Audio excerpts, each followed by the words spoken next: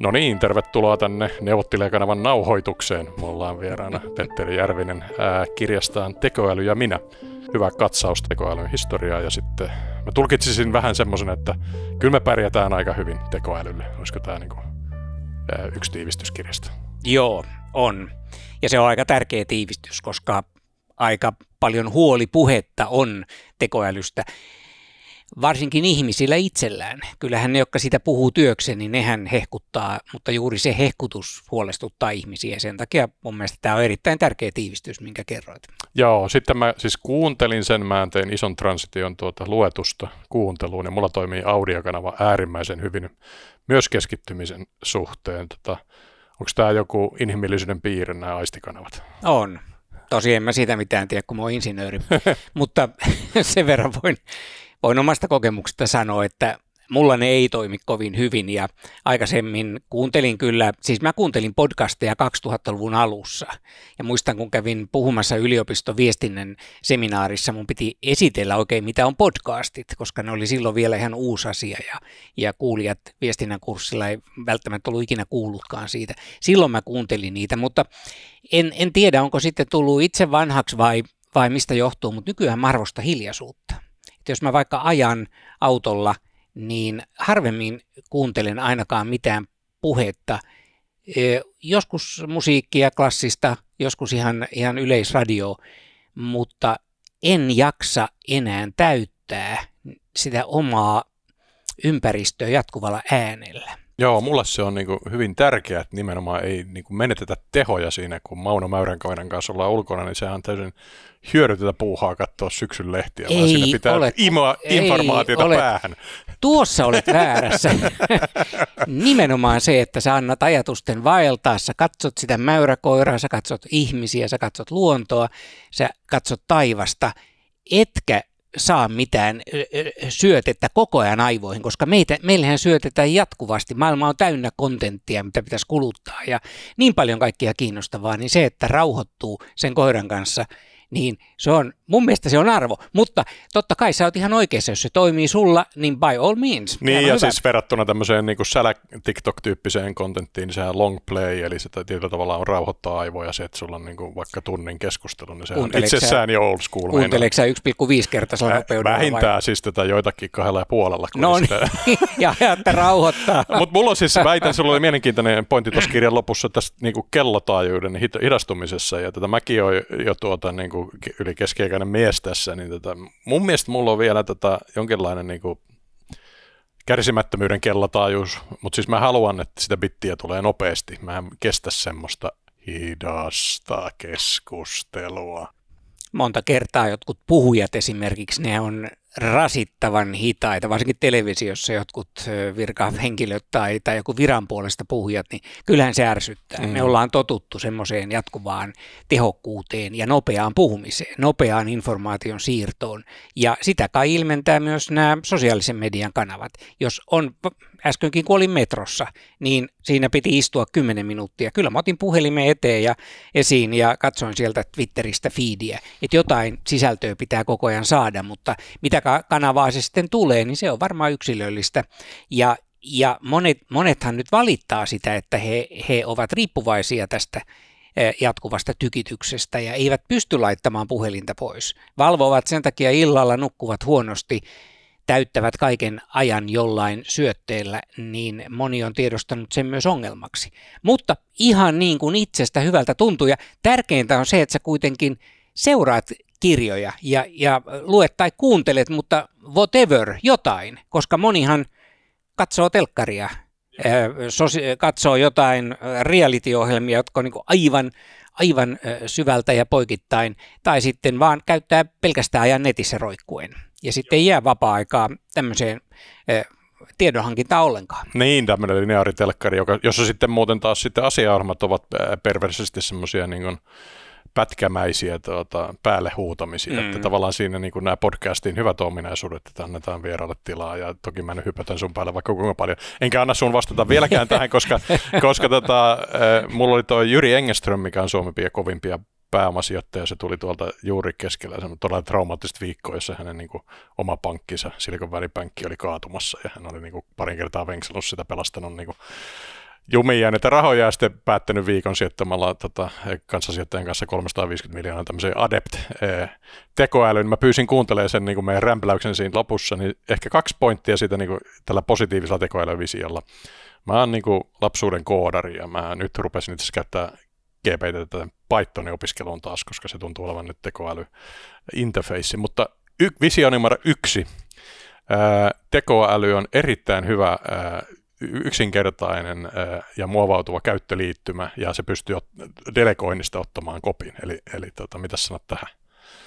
Se on hieno visio ja hieno tavoite. Jos me todella päästäisiin tällaiseen. Kymmen, kymmenen vuotta sitten puhuttiin siitä, että kaikki tulee puheohjatuksi. Että oli näitä Siriä ja Aleksaa ja ja kuviteltiin, että se on jatkossa oikein sisältön jakokanava ja että tulee kaikki palvelut sen kautta. Se on ollut aika hidasta. Ja jotenkin tuntuu, että ihmiset on tähän pelkkään puheohjaukseen, niin ne on jopa vähän kyllästynyt. Mutta tavoitteena se, että me voitaisiin todella päästä tämmöiseen automaattiseen tietojen käsittelyyn, ATK, eli voitaisiin vain sanoa sille laitteelle tai kirjoittaa muutama komento, että varaa mulle liput tähän ja tähän vaikka operaan tai, tai milloin lähtee seuraava bussi sinne tai tänne, ja se tekisi kaikki nämä meidän puolesta. Se on hieno ja se on tietenkin se tavoite, johon me ollaan menossa, mutta kun, kun on viime aikoina paljon ollut tekemisissä myös tietoturvan kanssa, niin aina tulee mieleen ristiriita, jossa itse olen, koska 90-luvulla kun tuli internet, mä uskoin todella siihen. Mä uskoin aivan vilpittömästi siihen, että tästä tulee hieno, tällä tarjotaan ilmaisia palveluita, tällä kaikki toimii. Ja nyt kun katsoo maailmaa 20-30 vuotta myöhemmin, on hirveän pettynyt. Mä tunnen jopa syyllisyyttä siitä, että kehitys ei mennyt ollenkaan sillä tavalla. Tuli rosvoja, tuli hakkereita, tuli kansallisia toimijoita, vakoilijoita, kyberhyökkäyksiä, niin, niin – mä pelkään, että, että nämä, nämä varjopuolet, joita me ei vielä osata edes kuvitellakaan, niin ne tulee yllättäen tässä matkan varrella monta kertaa, mutta meillä täytyy olla tavoitteita ja täytyy olla visio, mihin tämä on menossa. Mutta sitten tässä on toinenkin aspekti, joka on pikkusen alkanut huolestuttaa, liittyy tähän Flynnin ilmiöön. Eli, eli tämmöinen psykologi, amerikkalainen, joka asuu, asuu Uudessa-Seelannissa, kuoli pari vuotta sitten. Hän havaitsi viime vuosisadalla, että ihmisten älykkyysosamäärä kasvaa. Ja sitten sille tulikin vastareaktio 90-luvulla, ihmisten älykkyysosamäärä kääntyi laskuun. Että jotain on tapahtunut ihmiskunnalle samaan aikaan kuin internet alkoi yleistyä. Se voi olla ihan sattumaa. Mutta jostain syystä ihmiset on, ne on ehkä saanut niin paljon hyviä työkaluja, älypuhelimet ja tietotekniikka ja Google ja muut, että niiden ei enää tarvitse rasittaa aivojaan samalla tavalla. Ja nyt jos me mennään tämmöiseen sam- samalla tavalla kuin aikaisemmin, jos me mennään tämmöiseen maailmaan, jossa kaikki toimii vaan komentamalla, niin pelkään, että sen vaikutus niin kuin yleiseen ihmisen aivojen käyttöön ja, ja aktiivisuuteen, se ei välttämättä ole hyvä.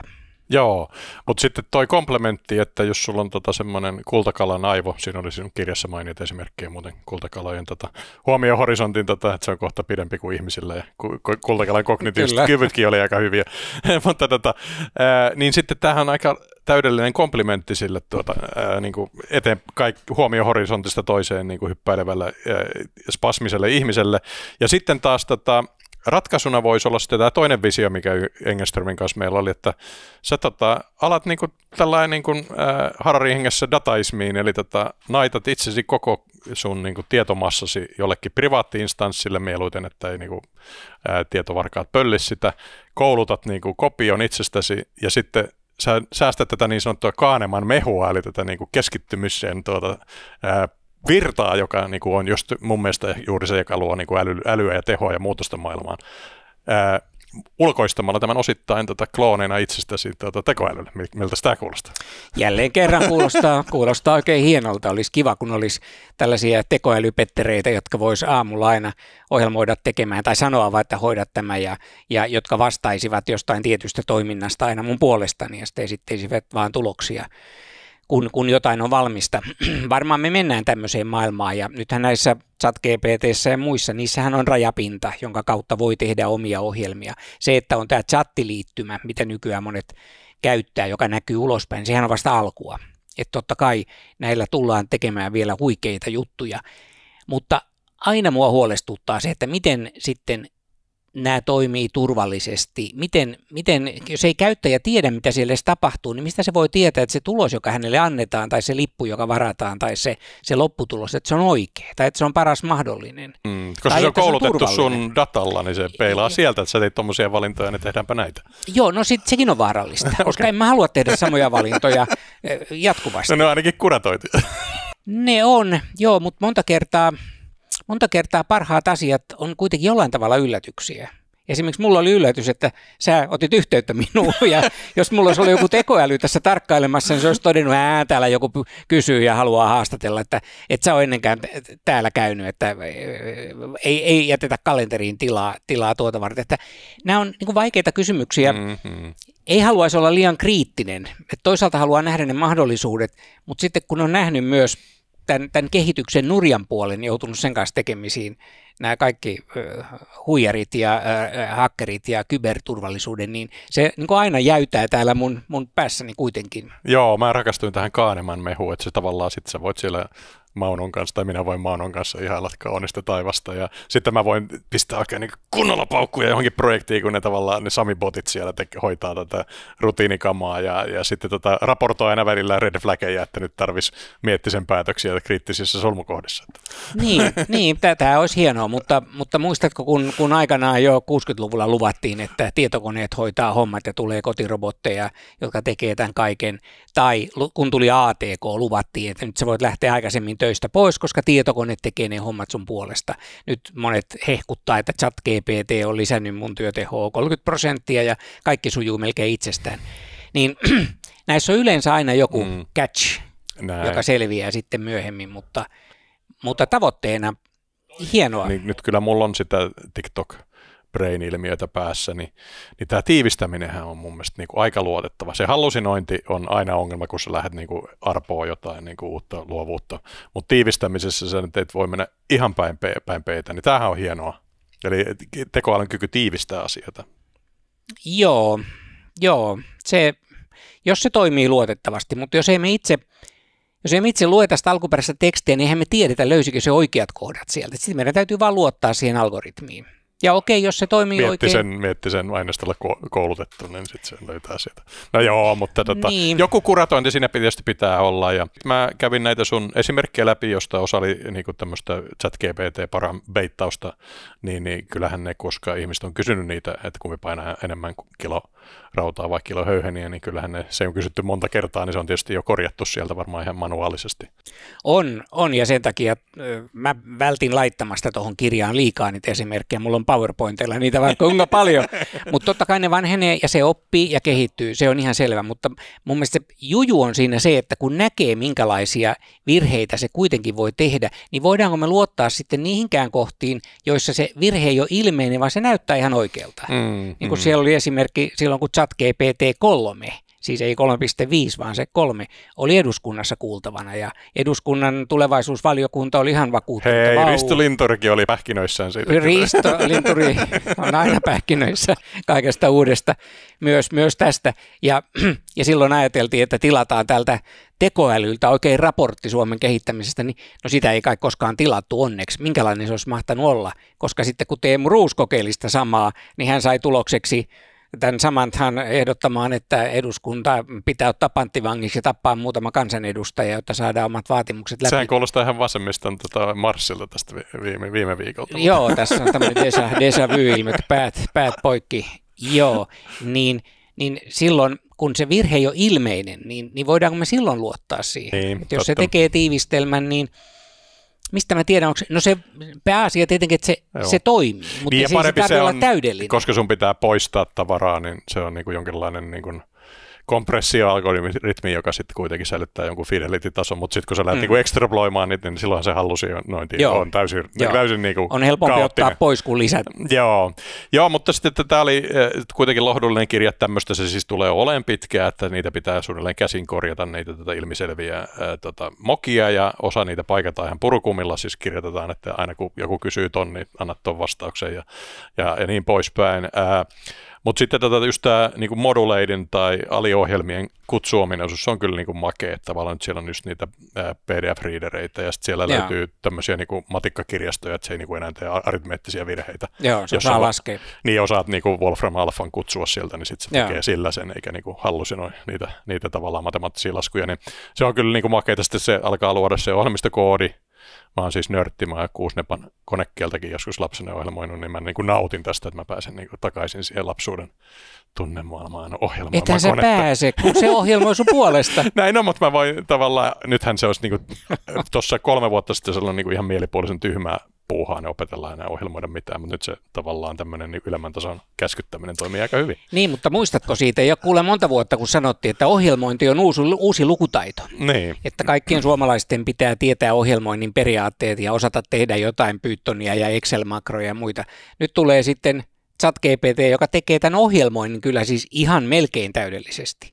Niin näin nopeasti sitten ne, ne haluttavat ja tärkeät taidot muuttuu. Hmm. Ja se, niin kun jos, jos kaikkia tätä yrittää itse osata ja, ja paneutua, niin siihen ei, ei millään pysty, taidot vanhenee ja itsekin kun on jonkin verran Pythonia tuossa opiskellut, niin herää kysymys, että no miksi mä enää opiskelisi mitään, koska se antaa mulle valmiin koodin ja se yleensä toimii. Joo. No tässä, tässä oli ihan mun mielestä pätevästi kuvattu se NS-pakollinen rimpsu, eli minkälaista tota koneoppimisen historia on ollut, niin vedetään pari, pari tätä keissiä, olisiko tota, itseohjautuvan autoilun ihana maailma vai otetaanko mm. tota kaikki pelit ja leikit? Kumpi? kumpi? No otetaan autot mieluummin, koska nuo pelit ja leikit on aina ollut mulle vieraita. Mä oon niin tosikko. Mä, mä en ole pelannut oikeastaan kuin Tetristä ja lentosimulaattoria. Siinä on ainoat pelit.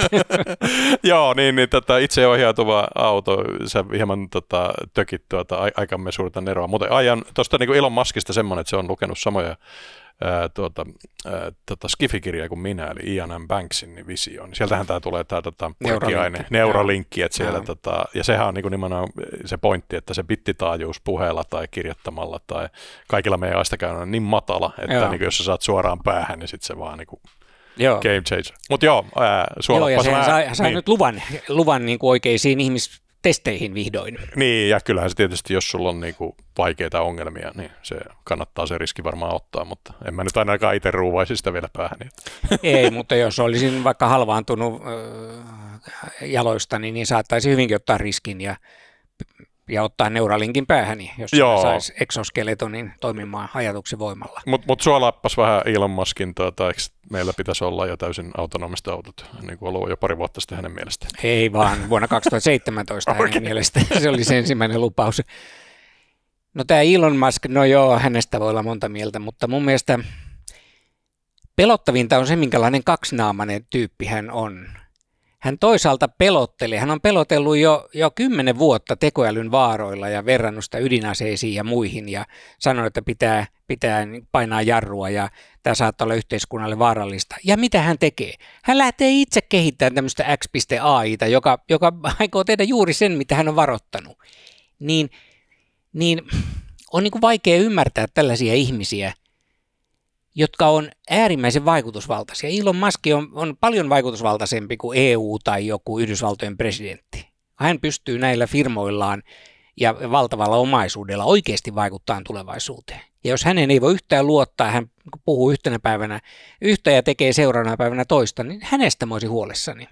Ja tekoälyn vaaroista, en nyt ehkä vielä siitä, että tulee Skynetti, joka orjuuttaa meidät, vaan siitä, että kun tällaiset muutenkin vaikutusvaltaiset miljardöörit saavat tällaisen välineen ja pystyvät vaikka nyt Twitterin kautta, Xn kautta vaikuttamaan ihmisten ajatteluun globaalisti, niin mitä siitä seuraa? No siis tuli mieleen siis Elon Musk yhden kerran tota, twiittasi, että Sand, Sandstorm was so cool, niin tässä hän viittasi ihan selvästi tähän tota DARPan niin kuin avikkokisaan, jossa oli tämä Sandstorm-auto, minkä säkin mainitsit täällä, mutta sitten hienosti tämä Darude tota, lähti hehkuttaa sitä tietysti niin Suomi-kuulumalla. Se oli musta hieno, hieno hetki, mutta tostahan se lähti liikkeelle, eli auto, autonominen auto nimellä Sandstorm.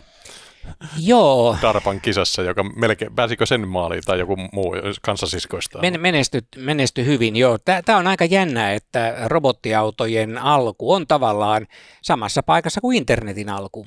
Eli siis DARPassa, siis Yhdysvaltojen puolustusministeriön tutkimusosastolla. Et sieltä, siellä pantiin miljoonia kilpailuihin, joilla saatiin sitten yritykset, tai alussahan ne oli yliopistoja, teknisiä yliopistoja, tutkimusryhmiä kehittämään ensimmäisiä robottiautoja ja sitten siitä se vasta laajeni siviilikäyttöön ja, ja silloin 2015-2018 hypehän oli ihan hirveä.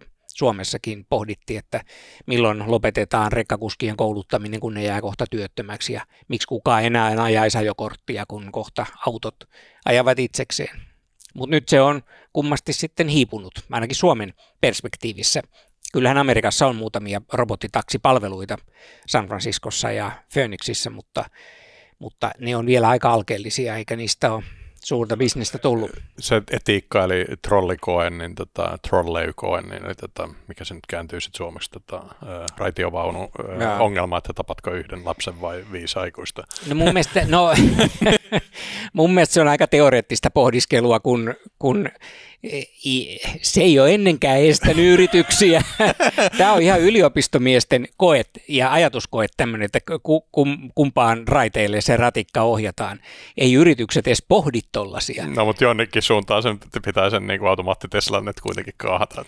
Joo, no tähän asti se on mennyt suoraan vaan ja ajanut rekan alle. Ja, ja mä oon ihmetellyt, että miten amerikkalaiset viranomaiset on ollut näin kärsivällisiä, kun siellä jostain kuumista nugeteista niin. määrätään miljoona sakkoja tai siis tämmöisiä punitive damages, niin miten sitten Tesla on saanut tuottaa monta kuolonkolaria, eikä kukaan ole käynyt Teslan kimppuun, mutta nythän siellä on alkamassa kaksi, kaksikin oikeudenkäyntiä jenkkimarkkinoilla, jossa tuotevastuulaki on muuten ihan käsittämättömän tiukka. Niin tähän asti sitä on suojeltu siellä vähän niin kuin Suomessa turkisteollisuutta, turkistarhausta, että ei me oikein tykätä tosta ja toi ei ole eettistä ja saattaa olla epäterveellistä, mutta, mutta tehkää nyt vaan, koska muuten kiinalaiset tekee se. Mm, joo, ja siis kyllähän sitten tietysti kiinalaisten puheen ollen, niin siellä varmaan että ei tilastoidakaan edes ku, tota, kuolevia ihmisiä, että eiköhän siellä paikalliset tota, niin tekoälyautot nyt sitten vaajele. Joo, ja sitähän ne jenkit pelkää, että kiinalaiset voittaa heidät siinä kilpailussa ja ne on sen takia valmiit ottamaan riskejä jopa siis omassa liikenteessään.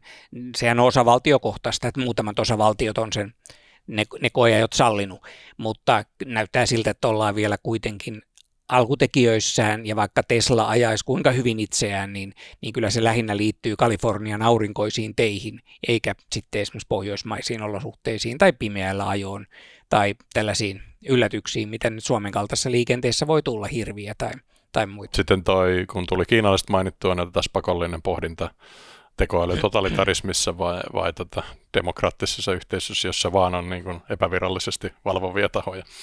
Ää, niin, niin toi Kela, onko se esimerkiksi TikTok nyt niin kuin, tota, ollut vaan Kiinan saajoppi, jolla kerätään tota dataa tyhmistä länsimaista heidän tekoälyä? No en, en mä ihan siihen usko. Ensinnäkin ne TikTokin käyttäjät, ne on voittopuolisesti sen verran nuoria ja vaikutusvallattomia, että tuskin he, he kauheasti Kiinaa kiinnostavat, mutta totta kai mietitäänpä niin päin, että jos TikTok olisi venäläinen, ja nyt Venäjä käy sotaa, niin, ja Venäjä voisi vaikuttaa algoritmilla siihen, minkälaiset videot sieltä nousee niin kuin katsottavaksi, niin sillä olisi kyllä vaikutusta.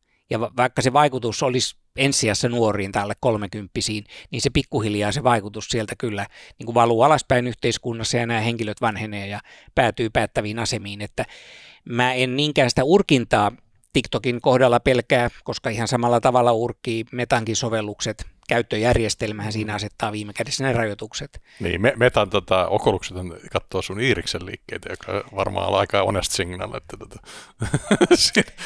että tota, ainakin siis saadaan paljon dataa, että mitä, mikä kiihottaa ihmisiä pornossa, mä luulen. Mutta tota. Niin, ja mitä mainoksia ne huomaa ja mitä tarjouksia, tämmöiset silmänliikkeet ja, ja puheen analysointi, älypuhelimet sitä nyt ei tee, mutta jos tulee esimerkiksi tämmöiset Sirin ja, ja Google Homein ja ja Amazon Alexan kaltaiset laitteet yleistyy, niin silloin varmasti myös puhetta jollain tavalla aletaan hyödyntää. Ei välttämättä ihan salakuuntelemalla, mutta kuitenkin siitä voidaan päätellä, mitä esimerkiksi huoneessa tapahtuu tai, tai missä ää, mielentilassa henkilö on, kun se puhuu ja tällaisia. Kun mä oon vähän tämmöinen radical honesty tyyppi, että vedetään niin massoittain dataa musta ulkopuolelle ja varotaan nyt kauheasti silattelemasta sitä ja sitten kun sitä on niin paljon sitä massaa, että jos sitten kun väistämättä kompastui johonkin tota Voke-maailman niin kuin kuoppaan, niin sitten mä pystyn tätä mun massiivista tätä näkyvyyttä niin hyödyntää juuri siinä tilanteessa, kun ihmiset taas sitten yleensä ajattelee sillä, että kun on kyyryssä ja piilossa ja sen on mistään ikinä mitään, niin sitten kun ei tule mokiakaan, niin mä, tässä mun mielestä kaksi filosofiaa on tämmöinen niin kuin maksimaalinen Vai näkyvyys. Hyödynnät, pystyisit hyödyntämään No mä voisin nyt esimerkiksi vetästä sitten tota, oman niin kuin puolustuskaman tota, podcastit, YouTubet, somet ja pyytää kaverinikin vielä puolustaa mua, että tavallaan että tämä nyt on, ja sitten se niinku, hu, ehkä hukkuisi sitten se kohu. Että koska itse just sanoin, että tämä valtamedia, tai tätä tämä lineaarinen telkkari on vähän kuollut, niin tota, kyllähän niin tässä... sä, sä haluaisit hukuttaa jonkun somekohun itsestäsi. Niin, tai tavallaan osoittaa, siellä sen massaan menee niin kuin muun mun omituisen käytöksen ympärillä pyöriminen. Kyllähän musta löytyy niin kuin hyvin kulmikkaita ää, lausuntoja vaikka kuinka paljon tuolla. Niin, voisi sanoa, että no mä oon aina ollut tommonen, olisiko se hyvä puolustus. Mutta siis tavallaan tämä GDPR-mainen systeemi, että yksilöstä ei saisi mitään tietoa kerätä ja tavallaan suojellaan sitä niin kuin, tavallaan identiteettiä. Onko se nyt sitten niin kauhean yllätyksellinen? No siitä on kaksi koulukuntaa ja totta kai siis tämä pohjoismainen lähestymistapa on se, että avoimuushan pikemminkin parantaa asioita. Ja siinä mielessä tämä, mihin GDPR on lähdetty, että kaikki on salaista ja henkilötunnus on tosi arkaluontoinen ja vaarallinen tieto, niin, niin sehän on vähän niin kuin erilainen, tai siis täysin erilainen ja vähän voidaan kritisoidakin sitä näkemystä, mutta sitten toisaalta kun nyt joka tapauksessa kaikki tieto toimii globaalisti, me toimitaan globaalissa ympäristössä, niin se, että me jaetaan tietoa täällä Pohjoismaissa keskenämme, se voi olla ihan vaaratonta ja hyödyllistä, mutta sitten kun se sama tieto päätyy Kiinaan ja Jenkeille ja johonkin tuntemattomaan paikkaan X, jolla voi joskus olla vaikutusta, mitä me ei vielä osata ennustaa, ennustaakaan, niin se siinä lähinnä pelottaa. Mm. No sulla oli tässä kirjassa keissi myös sitten tota, vähän niin kuin taustaa sille EUn GDPR, tätä tekoäly tai GDPRstä tekoälylakiin laajentamisessa, että Hollannissa oli päätetty tehdä tämmöinen niin tekoälykoulutus ja mustalista. Kerros vähän siitä keissistä. Joo, Hollannissa viranomaiset halusivat saada kiinni sosiaalitukien huijareita ja kehitti tämmöisen tekoälyratkaisun. No käytännössä se nyt oli ilmeisesti vain pelkkää koneoppimista ja, ja yksinkertaisia if-then-lauseita. Sen kutsuminen tekoälyksi on nyt vähän niin ja näin. Mutta se se ei sitten toiminut kovin hyvin, että ne opit, joita toisista henkilöistä oli saatu, niin kun ne sovellettiin johonkin toiseen, niin saattoikin tuottaa ja tuotti valtavan määrä vääriä päätöksiä, jotka saattoi olla sitten hyvinkin vahingollisia näille henkilöille, jotka oli lähtökohtaisesti jo haavoittuvassa asemassa, eivät he pystyneet ajamaan omia etujaan, eivätkä kiistämään tekoälyn toimintaa, ja siitä tuli sitten niin iso skandaali, että hallituskin vaihtui, vaihtui siihen sen seurauksena. Ja onhan se pelottava muistutus siitä, miten, miten tekoäly tai tämmöinen automatisoitu päätöksenteko toimii tuolla jossain kulisseissa, eikä me tiedetä edes, mitä se tekee, millä perusteella. Millä perusteella päätetään, että meitä ei valita työhaastatteluun tai meille ei myöntä lainaa tai me saadaan joku huonompi tarjous kuin naapuri on saanut tai, tai mennään varaamaan hotellia, niin me, me nähdään paljon kalliimmat hinnat kuin, kuin joku toinen, koska meitä ei haluta sinne yksinkertaisesti niin, niin tämä on se pelottava maailma ja tähän tietenkin EU pyrkii tällä tekoälyasetuksella vastaamaan. Miten se sitten onnistuu on kokonaan toinen juttu, koska tekoälyähän on äärimmäisen vaikea määritellä ja se, että yritykset suojautuu ja priorisoi asiakkaitaan, suojautuu väärinkäytöksiä vastaan ja pisteyttää, toi on parempi asiakas kuin toi toinen, niin sitähän tapahtuu koko ajan, on aina tapahtunut, ei se vaadi edes tekoälyä. Niin tämä tulee olemaan aika vaikea yhtälö, mutta äh, tarkoitus on hyvä ja, ja tavoite on kunnioitettava. Katsotaan, Joo, miten siinä käy. Ja tekoälyn, ainakin neuroverkko koulutetun mallin tota, tämmöinen niin kuin, reverse engineerointi on vaikeaa. Monella ihmisellä tuntuu olla mm. vieläkin sellainen käsitys, että se on semmoinen niin päätöspuutyyppinen, että jos sinulla on tuota, etnisyys tai sukupuoli, niin sitten if then verkostoja, mutta sitähän se ei ole, että sä koulutat jollain, niin kuin, koulutat niitä, tota, tai sanoppa sitten, miten neuroverkko toimii. Niin, niin no tämä mitä sä kuvasit, tämähän oli tietämysjärjestelmä, niin. knowledge systeemi, joita 80-luvulla rakennettiin mm. innoissaan ja, ja ne epäonnistu täysin. Mm. Ja ne epäonnistu niin pahasti, että tekoälystähän tuli kirosana pitkäksi aikaa. Tekoälytalvi numero X. No jo siinä oli kyllä oikein jo tekoälyn ydintalvi varmaan koko 90-luvun. Jääkausi oikein. Kukaan ei halunnut kuullakaan tekoälystä, koska niihin hassattiin valtavasti rahaa kehittämiseen, rakennettiin erityisiä koneita, jotka ajo näitä tekoälyjärjestelmiä, siis näitä knowledge-systeemeitä, ja mikään niistä ei sitten juuri mikään ei lunastanut odotuksia. Ja sen takia sitten tämä neuroverkkomalli, joka nyt on alkanut kukoistaa, kun on tullut riittävän tehokkaita tietokoneita 2020-luvulla, niin se on tehnyt monia läpimurtoja juuri sen takia, että nyt ei enää yritetäkään opettaa näitä iften lauseita ja päätöspuita, koska se on mahdotonta, vaan annetaan kasa aineistoa, annetaan kasa haluttuja lopputuloksia ja sanotaan koneelle, että päättele itse, miten näistä päästään tuohon haluttuun tulokseen. Ja sitten kun tulee uutta dataa, niin se automaattisesti sen vanhan perusteella osaa luokitella, mihin, mihin päätökseen tämä data johtaa.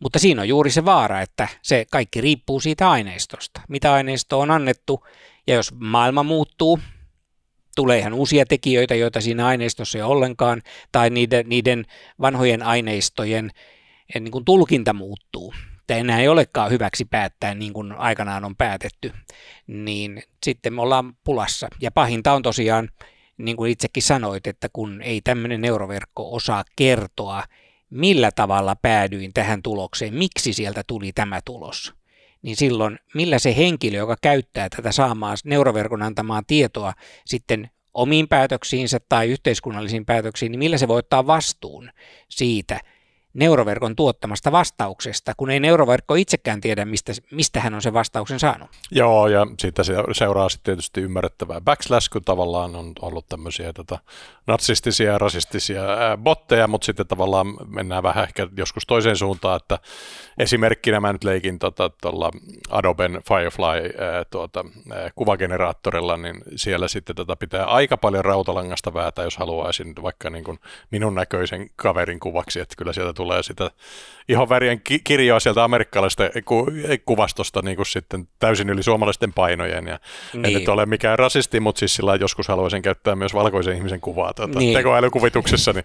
Meillä Suomessa yleensä halutaan valkoisia, eikä se ole mitään rasismia, vaan se on ihan arkea. Niin, ja sitten taas tota, voisi olla niin kuin järkevä bisnesmalli vaikka vakuutusyhtiölle tätä maksattaa naisilla isommat preemiot, kun ne kuolee niin kuin, tota, tota, myöhemmin, niin. mutta siis tätä sit pakotetaan se malli tota, olemaan niin kuin, sukupuolineutraali tässä, mutta siis joskus voisi olla ihan niin kuin järkevätkin syyt olla tuota, ennakkoluuloinen tuota päätöksenteossa. Niin ei se mun mielestä olisi ennakkoluuloa, vaan se on niin kuin insinöörilogiikalla, se on, se on rationaalista. niin, niin. Että niin tehdään kuin mitä data näyttää ettei lähde tästä dataa tarkoituksella oikaisemaan ja tuottamaan haluttua lopputulosta, niin kuin nyt vaaditaan. Joo. Että vaikka dataa tältä puolelta on vähemmän, niin meidän täytyy keinotekoisesti kasvattaa sitä, jotta se antaa yhtä paljon molempia tuloksia. Ja sehän on filosofisesti jo arveluttavaa, koska silloin joku joutuu tekemään päätöksiä, joilla on valtavia vaikutuksia, ja ne on, ne on keinotekoisia päätöksiä niin, niin reilumpaahan olisi, että, että se, se data kerätään kattavasti niin, että siinä on kaikki asiat edustettuna paikallisesti, mitä tarvitaan, mutta sen jälkeen ei, ei siihen dataan mennä tekemään keinotekoisia parannuksia tai tasapainotuksia, mutta nämä on vaikeita kysymyksiä. Niin, nyt se siis tekoäly on selvästi tämmöistä niin kuin osittain poliittisesti kor- korrektien voimien niin kuin vallassa, että siellä on sitä ko- oikeaa niin kuin, tavallaan koulutusaineistoa, joka saattaa olla niin kuin, mennä niin kuin, tuota, aiheuttaa oikeusmurhia, varsinkin vähemmistöille, mutta sitten siinä on lyöty niin sattumarvaraisia filtreitä, että korjaavat tätä vääristymää sitten, niin sä et oikein tiedä, kumpi sieltä, voima sieltä nyt niin kuin hyökkäsi tänään. Niin. Että se on pikkasen rasittavaa. Toki sitten on niin kuin, tämä itse koulutetut aineistot niin kuin yleistyy, että mäkin on siis just sen vuoksi ajattelin, että nyt voisi olla yksi ratkaisu, että se, tota, jos sä voit luottaa sun niin kuin ympäristöön, niin koulutat itse niin. Niin kuin omalla, omalla datalla, että se tavallaan muuttuu tehokkaammaksi niin kuin tavallaan tämä, tämä malli. Joo, jos vaikka joku, joku tekoäly saisi kaikki mun pankkitransaktiot, ostokset ja luottokorttiostokset ja muut vaikka viimeisen 20 vuoden ajalta, niin niin se tekoäly voisi sen perusteella toimia ikään kuin mun puolesta ja tehdä siitä päätöksiä. Mutta kun mä nimenomaan, mä nimenomaan haluaisin muuttaa sitä kulutusprofiilia, niin mä haluaisin itse kääntää sitä toiseen suuntaan, vähentää tiettyjä kulutuksia ja lisätä tiettyjä ihan tietoisesti, niin tekoälyhän jatkaa sitä samaa, mitä mm. aina ennenkin. Joo, ja sitten sinne on hyvä, että on sitä ää, talousteorian kai niin kuin tuuppaus tai nudge, eli tavallaan tämmöisiä niin kuin positiivisesti niin kuin hyväksi arvattuja tätä, niin kuin yhteiskunnallisia ja inhimillisiä vaikutuksia, jotka parantaa vaikka terveyttä tai lisää elinten luovutusta ja muuta, ja tätä, ää, säästämistä ja kaikkea muuta tämmöistä tätä no-brainer-hyvyyttä ää, systeemissä, ja sitten tätä, vähän sitä kaoottista tätä sekoilua vähentää. Niin, kun se välillä vähän hämmästyttää ja arveluttaa. Oliko se Google Mapsissa oli joku aika sitten ilmoitus, että tästä lähtien niin kuin suosittelemme reittejä, jotka vähentää bensan kulutusta tai on ympäristölle parempia, niin se, että Google tekee tämän päätöksen mun puolestani, niin se on aika hassu. Miksi mä saan valita sitä nopeinta reittiä? Tai varmaan saan, jos mä menen tietoisesti itse tutkimaan niitä aikoja ja päättelemään sen, mutta Google yrittää arvata tietämättä kuitenkaan, minkälainen auto mulla on ja minkälainen ajotapa mulla on. Ja se menee ehdottamaan ekologista reittiä ihan vaan, koska se on yhteistä hyvää Amerikan mittakaavassa näkökulmassa arvojen mukaan, niin nämä tuntuu vähän niin hankalilta. Joo, ja sitten tota mun äh, suurin kilpailija tässä tota podcast on toi Rahapodi, joka on Nordnetin tuota, tuote, niin tota, aivan ärsyttävää ne muutti, niin kuin, tota, niillä oli semmoiset nollakuluiset niin kuin indeksirahastot, jotka sijoitti ihan mekaanisesti niin kuin kaikki noppien mukaan tätä yleisindeksiä. Ja mä mielelläni laitoin, nyt ne va- muutti ne siis sillä, että ne on kyllä niin kuin ESG-painolla, ja yeah. ne ottaa niin kuin ihan random tuottoja sitten tavallaan, että kuka pöllipää siellä nyt on eh, mitäkin mieltä tänään ESGstä kaikella rakkaudella. Ne on ihan nollakuluisia, josta niin kuin iso plussa, mutta mä niin kuin tykkää siitä, että mulla ei niin kuin mitään mahdollisuutta sitä niin kuin poikkeamaan sitä talousteoreettisesti oikeasta, talousteoreettisesti oikeasta allokaatiosta, eli markkinapainoilla tehdyt painotusta indeksistä. Joku siellä sitten suorattelee tänään neste pois, huomenna neste takaisin ja sitten sieltä tulee niinku random tuottoa. joku tekoäly si- siinäkin taustalla parantamassa maailmaa. Joo. Niin, että onko neste nyt sitten niinku tuhoamassa maailmaa vai parantamassa maailmaa siellä. Niin, joku varmasti joku päättää. neropatti päättää sen. Niinku- niin. Niinku, ja sitten se, se, on sitten Suomessa niinku aika iso indeksipainoinen osake. Niin ainakin, no tämä nyt on vain yksi räntti, tota, luulisi tähän sitten tulisi tuote, että joku muu tarjoaisi sitä tota, ei ESG-puhdasta rahastoa, niin. mutta eipä, eipä sinne maailman sillä mene, kyllä yleensä varainhoitajat haluavat niin kuin komission, että sitä on aika pöliä malli nuudetilla anyway, että ei oteta kuluja. Mutta, tota. No eikö maailmassa ollut joku rahasto, joka sijoitti aseisiin ja tupakkaan ja viinaan? Joo, en mä taas Miten... sinne niin paha, tois, siihen suuntaan haluan mennä, että, että kyllä mä haluan parantaa maailmaa, mutta siis mä, tässä tilanteessa mä haluaisin nyt vaan yksinkertaisesti talousteoreettisesti järkevimmän tuotteen, eli mahdollisimman vähäkuloisen yleisindeksiin tota, ilman mitään biasta sijoittavan viekkelin, niin se on tavallaan pilattu sillä ESG Bajaksella. Ja ei mulla sitä niin vastaan mitään ole, mutta mä vaan en tykkää siitä, että se, mulla on niin kontrollia siihen, niin kuin mä en pysty se on vähän niin kuin tekoäly, josta mä en tiedä, miten se tekee ne päätökset. Aivan, aivan. Ja seuraukset näkyy mulle, tuntuu suoraan mun lompakossa niin. ja joku kone tai joku jossain tekee ne päätökset. Eihän se hyvältä tunnu. Ei, ei. Että siinä mielessä siis arvostan, tota, että kyllä ihmisille pitää pystyä tekemään niin kuin omia, omat virheensä tai päätökset, eikä niin kuin, ainakaan siis niin kuin ihan black boxiin niin kuin niin. nojata. Mutta mä, mä kuitenkin tekoäly-optimisti, mutta sulla oli pitkät pätkät siitä, miksi ihminen kuitenkin niin kuin ainakin lähiaikana vetää kampoihin tekoälylle. Niin pistäisi nyt muutamat tuota, optimistiset tarinat siitä. No siinäkin on varmaan helpointa katsoa, katsoa taaksepäin, että kun, kun kirjaston poistohyllystä otin 78 ilmestyneen kirjan, jonka tulevaisuuden visiot kuulosti ihan samalta kuin tällä hetkellä tekoälystä puhuttaessa, miten se tuhoaa työpaikkoja ja muuttaa ihmisen elämää ja e, poistaa kaikki ikävät työt. Silloin se ajava voima oli mikroprosessori, mutta puheet oli ihan samat. Ja kun nyt katsoo 70-luvulta 50 vuotta kulunut aikaa, niin eihän meidän työt ole hävinnyt. Ammatit on jonkin verran muuttunut. Osa, pieni osa ammateista on kuollut ja uusia syntyy entistä enemmän, mutta totta kai ne, ne on erilaisia ammatteja. Huolestuttavaa on ehkä se, että ne, ne sillä tavalla polarisoituu. Tarvitaan ihan tällaisia simppeleitä duunareita, jotka kuljettaa vaikka, vaikka ruokia kotiin, ruokalähettejä ja sitten tarvitaan niitä yhä enemmän IT-asiantuntijoita, tekoälyasiantuntijoita, jotka vaatii aika paljon opiskelua ja osaamista, joihin siis kaikilla ihmisillä ei ole yksinkertaisesti kykyjä. Mutta kyllä, kyllä mä paan toivoni ja, ja luottamukseni siihen, että ihmiskunta ja ihminen itse on tavattoman joustava, että me aina keksitään uusia tarpeita. Aina ihmisillä on jotain, mistä toiset on valmiita maksamaan ja sitä ei mikään tekoälykään poista.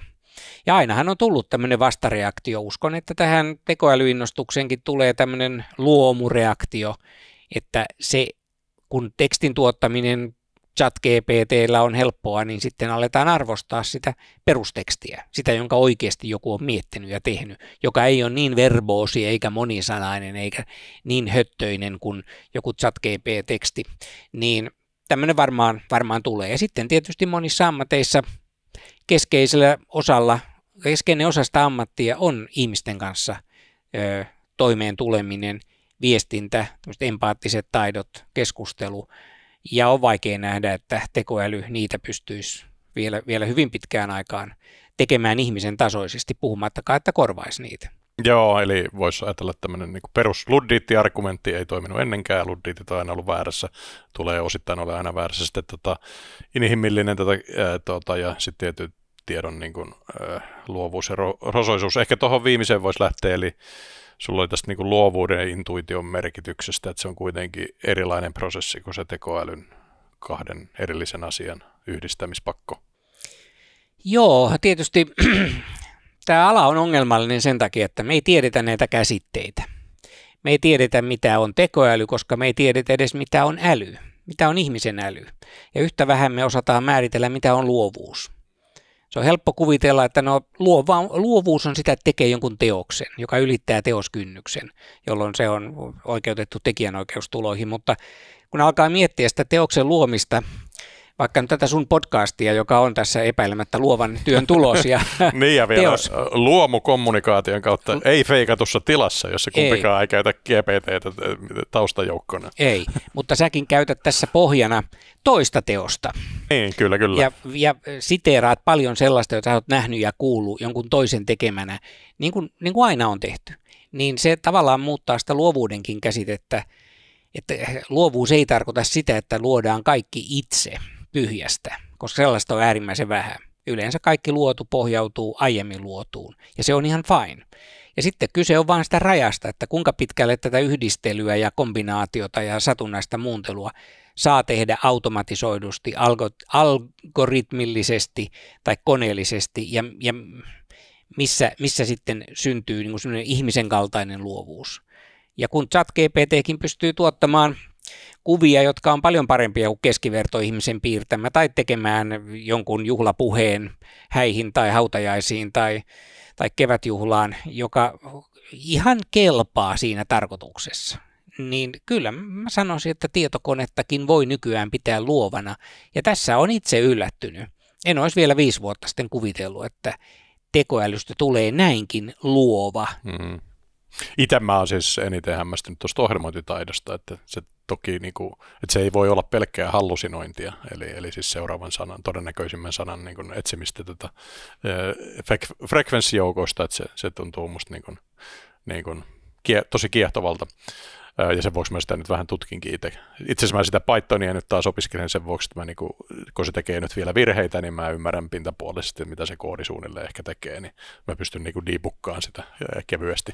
Että yeah. tämä on niinku mun, mutta se, niin kuin sanoit tuossa alussa, niin se varmaan on niinku katoava taito, että jossain vaiheessa se tota, ei vaan kannata panostaa siihen niin kuin alatason koodiin yhtään. Ei alatason koodiin kannata, mutta entistä enemmän joudutaan panostamaan sitten juuri debukkauksen ja testaamiseen koska se, että kone tuottaisi meille koodia ja sitten se pannaan johonkin tuotantojärjestelmään tai jaetaan miljoonaa robottiautoon toisen robotin tekemää koodia, niin se vasta pelottavaa onkin. Mm. Ja silloin aletaan jo lähestyä näitä Skynet-visioita.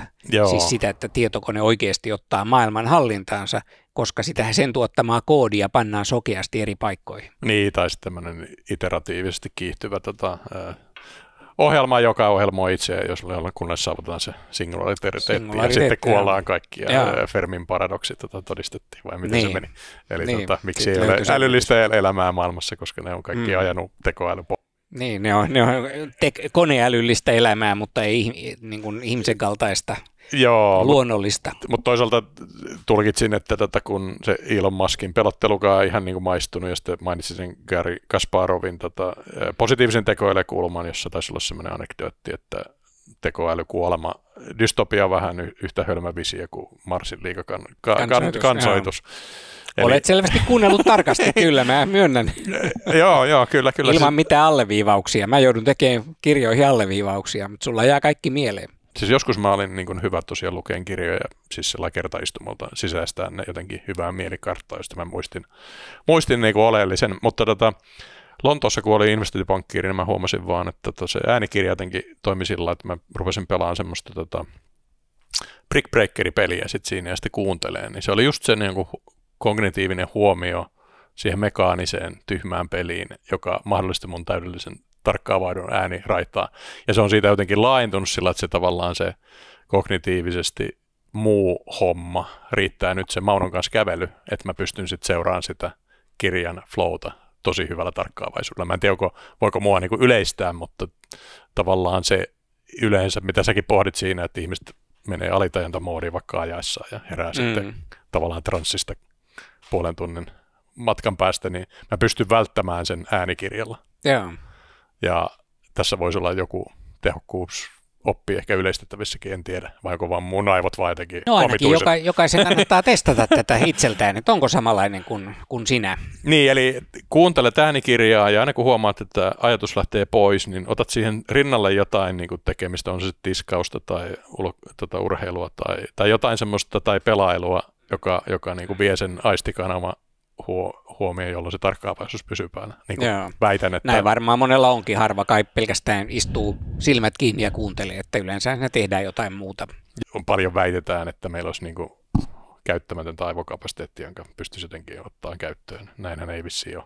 Ei ainakaan sillä tavalla, että siellä olisi joku käyttämätön alue, tietysti ihminen voi harjaantua ja oppia käyttämään tehokkaammin, mutta kyllä niin kuin ihan fysiologinen fakta on se, että ihminen käyttää aivojaan sataprosenttisesti, siis näin alueellisesti kaik- kaikkia osia aivoista, ettei siellä mitään turhaa käyttämätöntä aluetta ole. Tämä on semmoinen uskomus ja vähän semmoinen toiveajattelukin, jota on, on itsekin monta kertaa kuullut, että ihminen käyttää vain 10 prosenttia aivoista ja jos opit käyttämään tehokkaammin, niin sinusta tulee paljon fiksumpi ja pätevämpi niin, niin se tavallaan se pitää paikkansa ainakin niin, että harjoittelu auttaa ja voi oppia uusia taitoja kyllä, mutta edelleen se tapahtuu eri puolilla aivoja ja tällaista lokeroitumista tai tyhjää kapasiteettia siellä ei ole. Joo, ehkä se alitajunnan kouluttaminen on ehkä lähimpänä tätä tyyliin, että jos nyt vatsaat sinne, miksi nyt Kahneman kutsuu ehkä nyt intuition alueeksi tai tai sitten jotkut kutsuu tavallaan flow-tilaksi tai intuitioksi tai tota automaattisiksi alitajuntuiksi prosesseiksi, jos saat sinne niin kuin rutiineja heitettyä Joo. pois siitä Kahneman juice-alueesta, eli siihen niin kuin kovaan ajatteluun systeemi kakkoseen niin kuin raakaan päättelyyn, niin, niin, niin se on niin kuin win-win. Joo, ja mä luulen, että ihmisillä on, kaikilla on tällaisia, niitä ei välttämättä itse edes huomaa. Tuossa kirjassa itse kerroin siitä, miten, miten alintajuntaisesti pystyn ajamaan tiettyä nopeutta, että en edes kiinnitä mitään huomiota. Tai siihen, että pystyn, alitajunta pystyy arvioimaan, milloin kaksi minuuttia on kulunut ja milloin kahvivesi kiehuu, paremmin kuin mitä tietoisesti pystyisi. Niin mä uskon, että monella muullakin on vastaavia, me ei vaan kiinnitetä huomiota niihin. Mm. Eli jos tämä nyt vetää ihan tähän teknouskovaisuuskulmaan, niin Elon Muskin datalinkillä päähän, niin saadaan toinen alintajunta pyörii taustalle niitä laimennettuja prosesseja itsestään ja vapautuu sitten kaistaa muuhun, mutta saapa nähdä. Niin, olisihan se mahtavaa, kun voisi mennä, mennä kauppaan ja sanoa, että mä ostasin tuommoisen matematiikkamoduulin tai tuommoisen espanjan kielen moduulin, kun mulla tulee loma tuossa ensi viikolla ja sitten vaan pantaisi joku linkki jonnekin, on se sitten piuhan kautta povitaskuun tai suoraan aivoihin ja sitten osaisi sen Espanjan. Että tämähän on kaukainen toive kyllä. Ja Terminaattorilasit, siis mä itse asiassa testannut sitä, kun on neuvottelukouluttaja, niin tässä tämmöisen True Knowledge Searchin kanssa tehtiin tätä Siis semmoinen, että laitettiin, kameralla kuvattiin niin kuin Iiriksen liikkeet ihan, ja siitä niin kuin näkee siis yleistunnetilat. Ja. Niin, niin kyllähän tämäkin tavallaan siinä on joko Oculus-maailmassa tulee niin suoraan, pystytään träkkään silmiä, tai sitten tota, jonkinlaisella Google Glassilla, jota muuten niitäkin on saanut odottaa kymmenen vuotta. Niin, niin, niin eikö se lopetettu jo kertaalleen? Mä tiedän, nyt on kai jotain huhuja, että ne tekisi tekis uuden, tai sitten tulee kilpailijoilta, niin kuin Appleltä ja muutamalta muulta aasialaista valmistajalta. Kyllä me varmaan jonkinlaisiin älylaseihin mennään joskus, mm. mutta se on pirun hankala käyttöliittymä saada tänne lasien sisäpuolelle sellainen riittävä tarkkuus ja, ja riittävä, tehdä sitä riittävän kevyt, mm. että se, se ei tunnu ikävältä käyttää ja että se toimii koko päivän yhdellä latauksella, niin mm. siinä on vielä hieman haasteita. Joo, ja sitten tähän mun neuvotteluvaltakirjaa mä haastattelin tätä tekoälytutkijan testament. Hänellä oli semmoinen visio, että tota, neuvottelu tai transaktiot jossain vaiheessa tulee tekoälystä niin merkitysneuvotteluksi, että ja. tavallaan joko sillä just niitä hyviä nudge-faktoreita, että oleta aina, että Miettinen haluaa lisätä nettovarallisuutta, ja oleta aina, että Miettinen haluaa tehdä net, äh, arvoa lisääviä transaktioita sekä itselleen ja, ja toissijaisesti muille, jos se on mahdollista, oleta eettinen käytös, niin jotain niin tämmöisiä, että semmoiset niin pyörii siinä koko ajan oletusarvona ja, ja sitten, tota, että sä et ajaudu myöskään kaiken maailman pontsiansoihin niin jossain tunnekuohussa. Joo, se oli tämä neuvottelukone vai mikä se on? niin, niin, että se, ne tavallaan ne merkitysneuvottelut Joo. hoidetaan tavallaan koneiden välillä, kun tiedetään Joo. nämä prinsiipit ja tavoitteet ja sitten tavallaan tuodaan ne sitten. Ja sitten voidaan yhdistää myös joukkojen preferenssiä, että jos meistä vaikka löytyisi yhteisiä intressejä, niin me voitaisiin puolata nämä niin kuin, niille koneille, että lähdetään lobbaa jotain, en mä tiedä, markkinataloutta. Laittakaahan tämä kirja kuunteluun, kokeilkaa mun tekniikkaa vaikka siis, että tota, otatte rinnalle joku toissijaisen toiminnan ja katsotte, että paraneeko ö, keskittyminen siitä. Toki lukeminenkin toimii vielä. Siinä on oma, oma charminsa, hitaat pittiliikkeet. Joo, mutta kiitoksia vierailusta. Me ollaan ollut äh, vieraana Petteri Järvinen ja me ollaan puhuttu tekoälystä ja ihmisten välistä pelistä.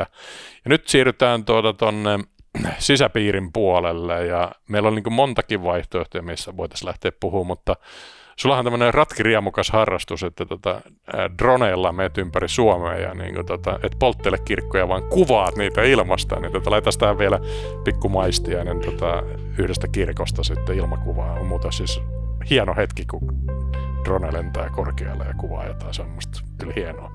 Mutta lähdetään, lähdetään siitä juttelemaan tuolla tilaajapuolella. Kiitoksia.